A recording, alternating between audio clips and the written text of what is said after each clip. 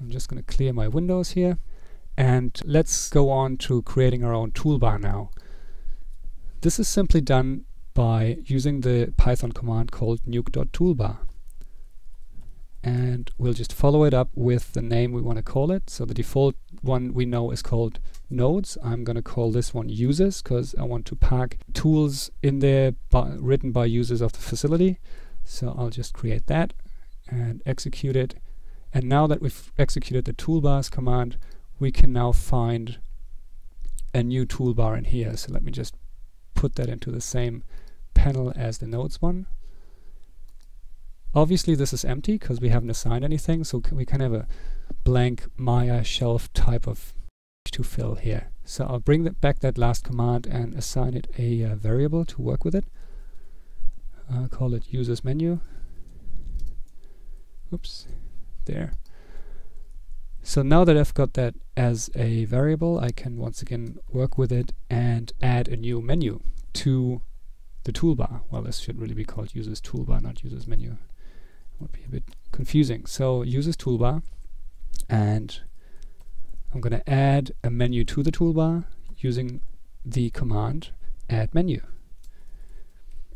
And the first argument is the name. I'm just going to call it Frank because that's where I will park all my gizmos.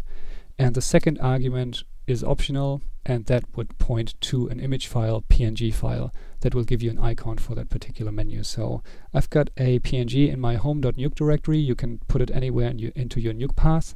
Mine is called kelvin.png. And if I close the parentheses and execute this whole thing, I now get a new menu with an icon if you don't assign an icon, you'll just get a default nuke icon for it. So now that we've got our own menu in our own toolbar, let's go one step further and actually fill it with something useful. So once again, I'm going to give this menu a variable. And after doing that, I will add a command to it, just like we did before with a reformat node, but this time we're basically creating a totally new command from scratch. So I'll go my menu dot add command and I've made a LumaKeyer gizmo earlier, so I will call it LumaKeyer. That's the first argument, and if you remember, this is the name of the menu item that will show up. Actually, how about we organize it a bit better and we'll create a submenu called Keyer slash and then I'll put the LumaKeyer in there just in case I'll come up with other Keyer gizmos in the future. I can just neatly pack them all into the Keyer menu. So after that is the actual command. So once again, we'll use the nuke.create node command to bring up our gizmo. And again, we'll use parentheses and double quotes in this case. And my gizmo is simply called LumaKeyer.